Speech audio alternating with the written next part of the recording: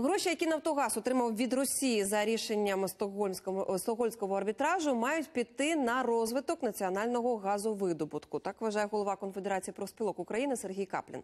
За даними НБУ, 500 мільйонів доларів з майже 3 мільярдів від Газпрому Нафтогаз уже продав. І ці кошти витратять на поточні потреби компанії та податки. За словами Капліна, галузь українського газовидобутку потребує негайної реформи та інвестицій. Український газ один з найдешевших у світі 2 гривні 50 копійок за куб.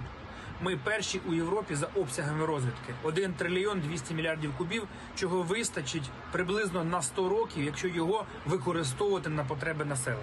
Сьогодні потрібно зробити серйозну інституційну реформу всієї системи газовидобутку і діяльності нафтогазового комплексу, ліквідувати Нафтогаз, провести серйозний аудит і реформацію Укргазвидобування, почати залучати міжнародні інвестиції і використовувати свій власний фінансовий ресурс.